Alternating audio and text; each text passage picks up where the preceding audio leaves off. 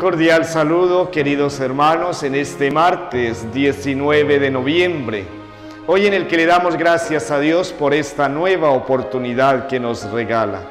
El evangelista San Lucas hoy, en el capítulo 19, nos presenta este pasaje del encuentro de Jesús con Saqueo.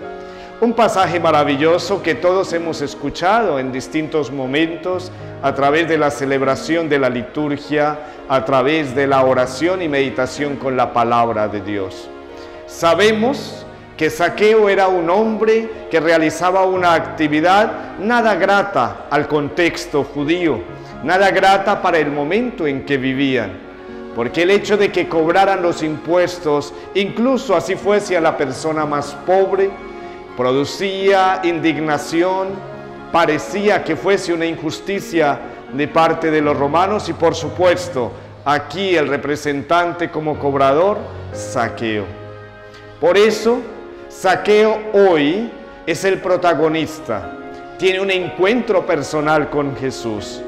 Todo encuentro con Jesús produce un cambio, pero debe ser un encuentro auténtico ¿Por qué? Porque la persona debe ser capaz de mostrarse tal cual y como es, con sus capacidades, con sus cualidades, con sus habilidades, pero también mostrando sus defectos, sus limitaciones.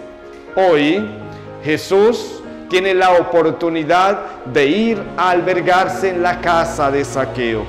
Es criticado porque este es considerado, Saqueo, un hombre pecador. Pero Jesús aclara, yo no he venido para los que están sanos, sino para aquellos que están enfermos. No he venido para los justos, sino para los pecadores. Para ellos es la bondad y la misericordia de Dios. ¿Cuántos de nosotros en el transcurso de nuestra vida hemos tenido encuentros con el Señor, pero tal vez nos ha faltado fe, humildad, autenticidad para que este encuentro produzca los frutos que nosotros queremos, que nosotros deseamos. Pidámosle hoy al Señor que nos regale la virtud de la humildad, la virtud de la sinceridad para mostrarnos tal cual y como somos, para que ese encuentro personal con el Señor sea muy parecido al de saqueo, que convierta nuestra mente, convierta nuestro corazón al Señor y podamos vivir en armonía y en paz con todos.